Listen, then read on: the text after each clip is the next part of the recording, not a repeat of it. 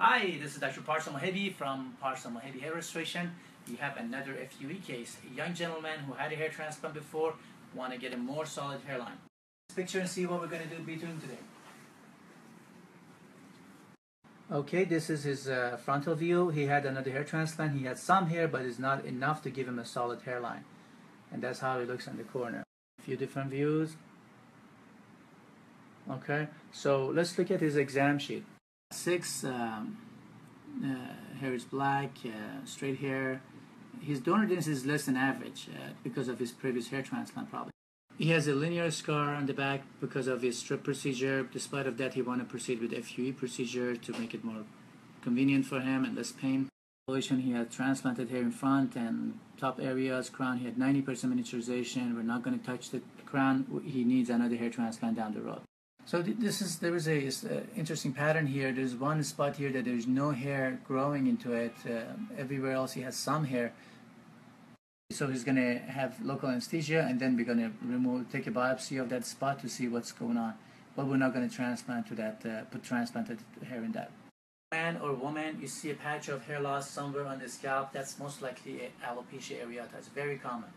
Alopecia areata is a uh, autoimmune disease. The immune system attacks the hair follicles and dis- destroy them.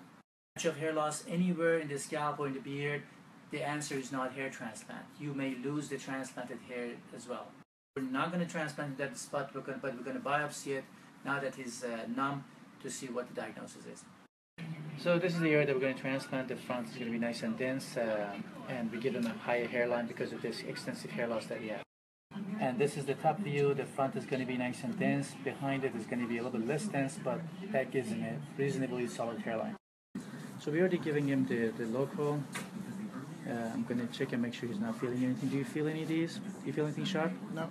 None of these? No.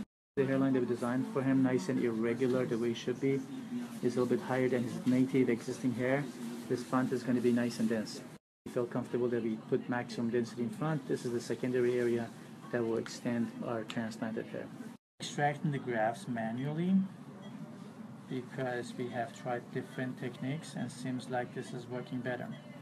The advantage of manual is that it gives you more flexibility so we know where to change the angle and how you know how quickly we should change. FUEs are not always the same, sometimes very easy, no, no, no difficulty removing them. Sometimes they could be a little more challenging.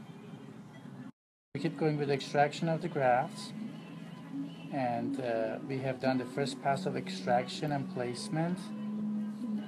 We usually do serial extraction and placement to keep the grafts out of the body for a short period of time.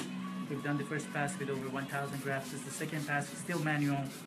Uh, he has a difficult um, situation with extraction of grafts that manual method is the only one that seems to be working for him follicles and splay, which is when the hair shafts are going to different directions underneath the skin. So for that reason, manual gives us more flexibility of changing the angle and direction as we go forward.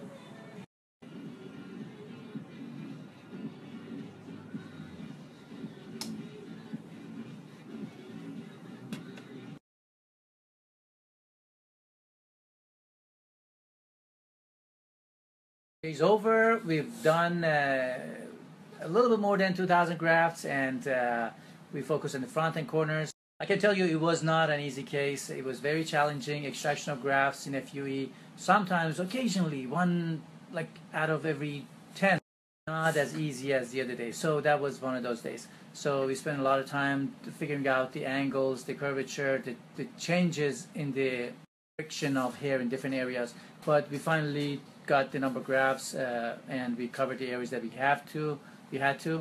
Which is directly from my camera. You see the front and corners are covered with a reasonable density.